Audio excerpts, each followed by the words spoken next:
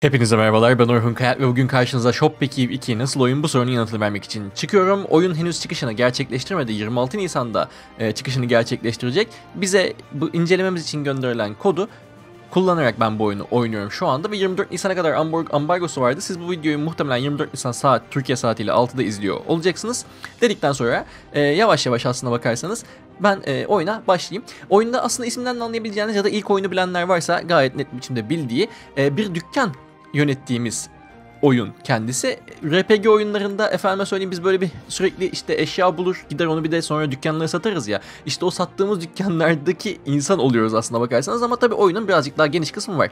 Şimdi her şeyden evvel e, bir karakter yaratmamız gerekiyor. Karakterim hop yanlış işaret seçtim. Bu iki işaret hep karıştırıyorum ya. Soldaki erkek. Yani e, aslında hatırlamak için bir takım yöntemler var ama neyse. tabii ki Dihun koyuyorum karakterimin ismini. Ulan bu nasıl bir tiptir? Değiştirmiyorum lan. Değiştirmiyorum. Allah aşkına abi çok komik. Çizmeli kediye benzedi. Oha oha hakikaten. Çizmeli kediye benzedi karakter. Neyse önemli değil. Şimdi single player'a gireyim. Bir business yani işletme yaratacağım şuradan. Oğlum çok satanik oldu. Ha şöyle bir şeyler oldu. Vazgeçtim geri gel. Tamam böyle iyi. Hiç kasmayayım. Ee, ne diyelim? Otak mı diyelim lan? Ne diyelim şirketin adına? Şirket hadi multiplayer olsun ya.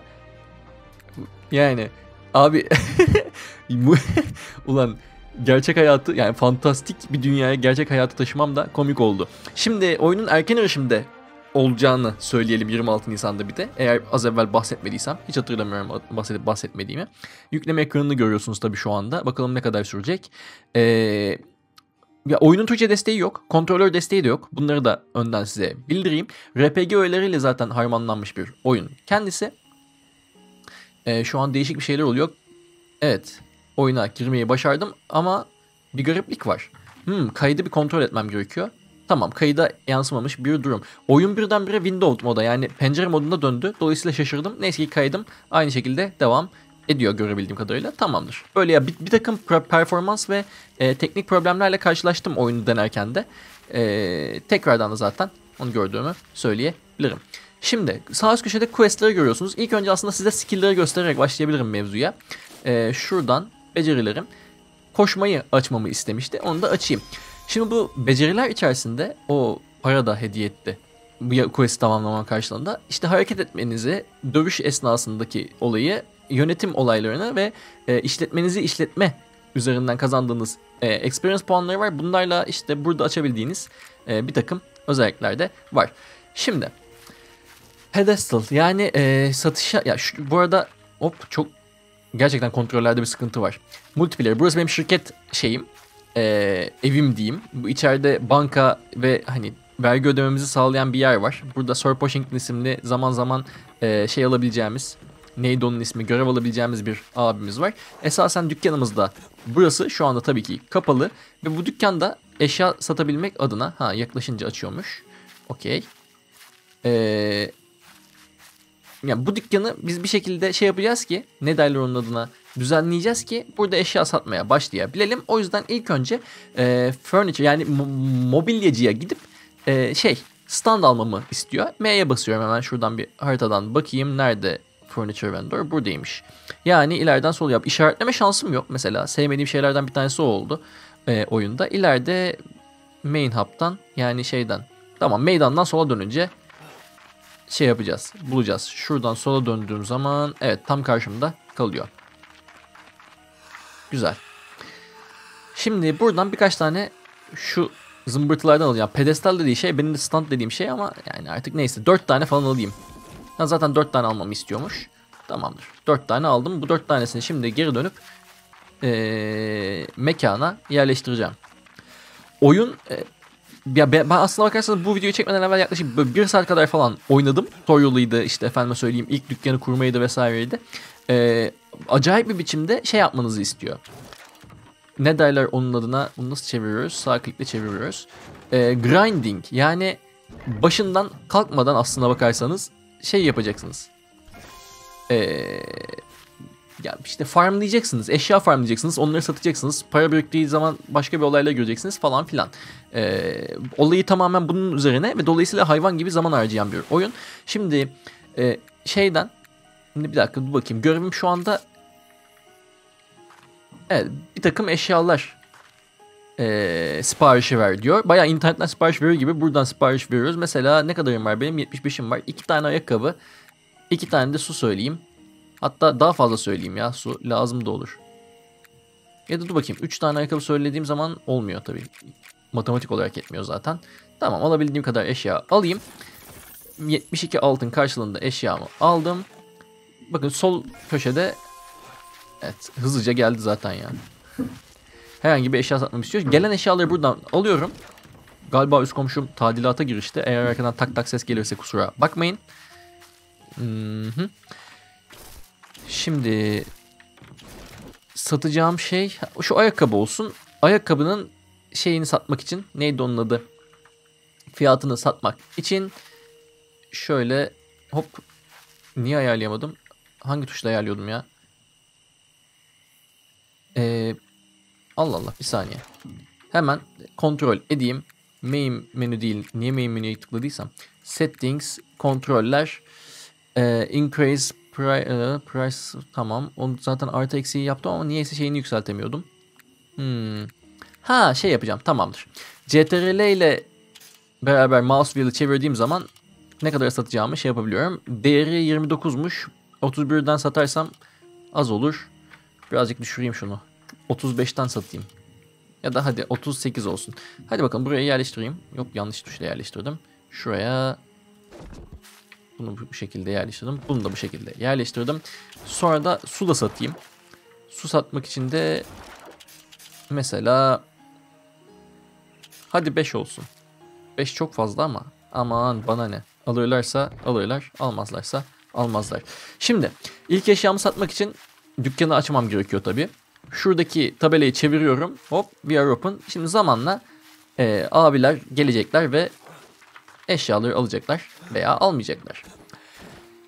E, oyunun çok fazla işte dediğim gibi grinding yani sürekli başında durmanızı gerektiren ya durmanızı gerektiren dediğim hani benzer işleri sürekli yapmanız gerektiren bir yapısı var.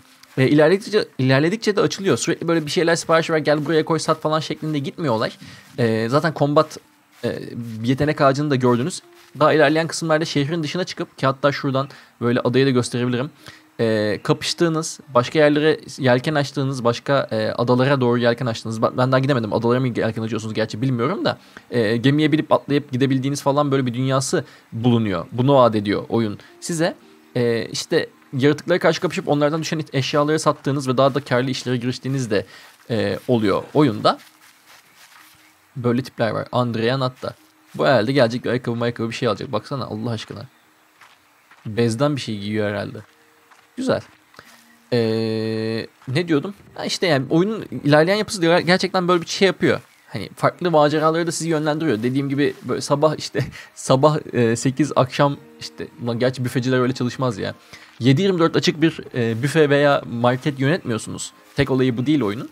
E, maceraya da atılıyorsunuz ama hop aa sattık. Ne sattık? Su sattık. Pekala. Hmm, şimdi satılan eşyalar doğrudan çantamıza gelmiyor parası.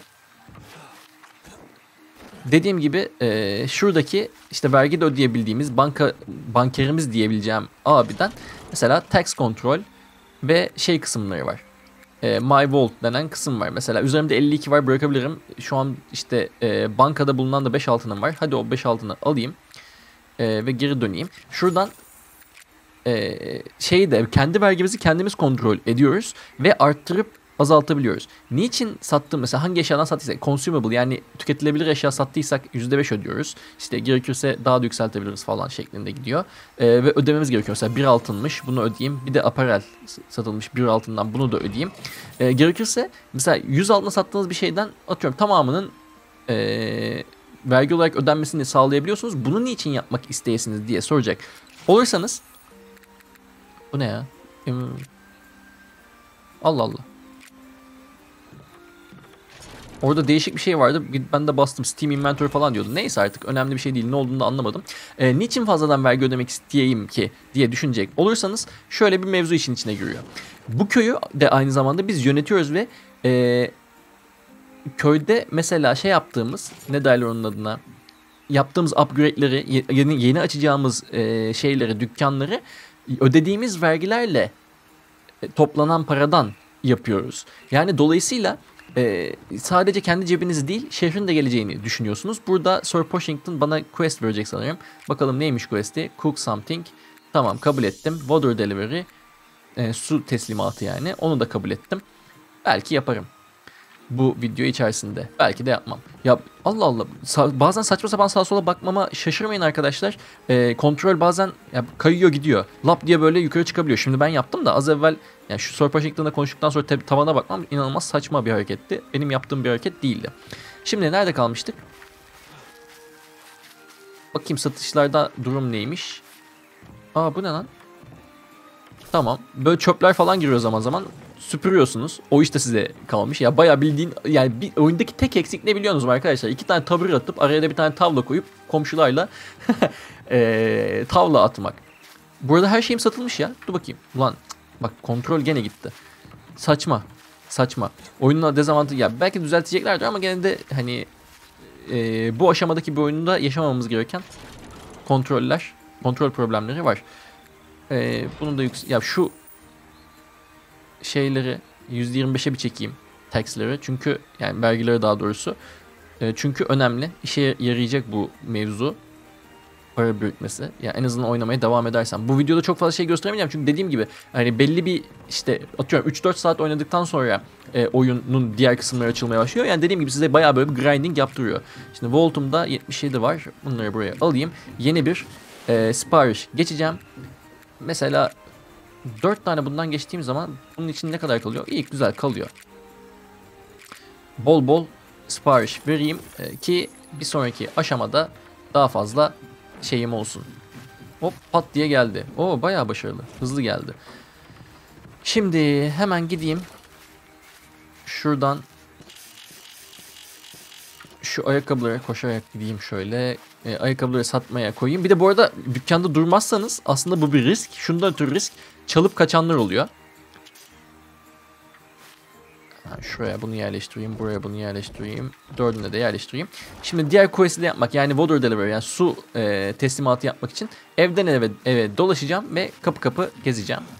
E, bir yandan onu yaparken de her şeyi anlatayım. Yani, hırsız girebiliyor eğer dükkanda durmazsanız.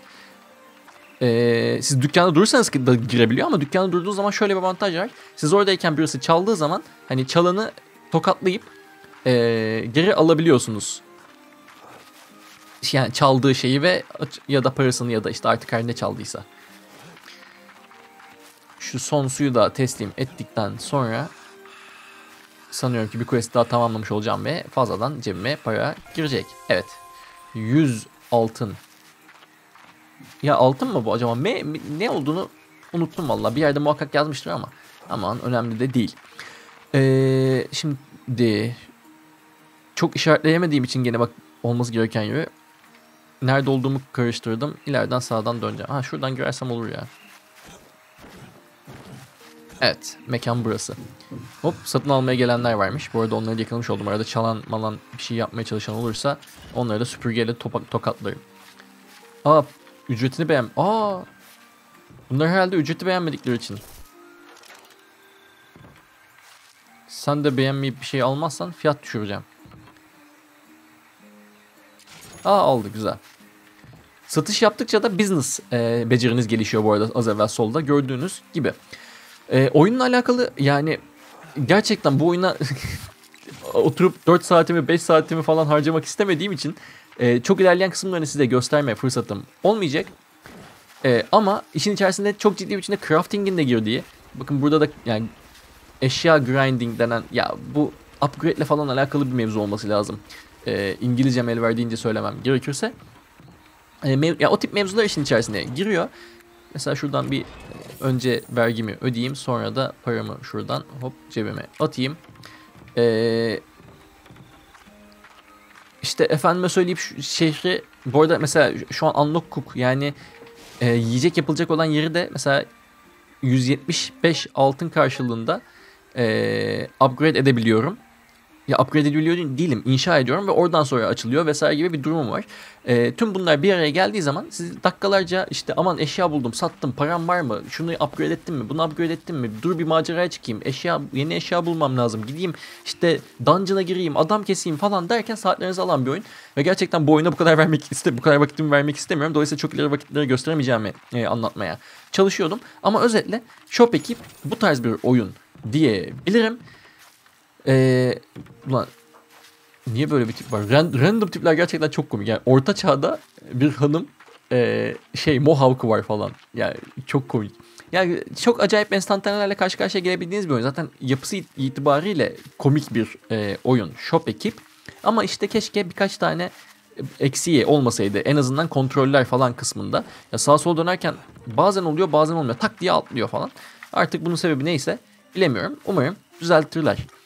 Dedikten sonra yavaş yavaş lafımı sonlandırayım. Ee, en azından Shop Ekip 2'nin size e, dükkanı ve şehri yönetme kısımlarıyla alakalı birkaç bir şey anlatabildiğimi düşünüyorum. Kafanızdaki nasıl oyun sorusuna kısmen yanıt verebilmiş isem ne mutlu bana. Bir başka videoda görüşmek üzere. Şimdilik benden bu kadar. Kendinize iyi bakın.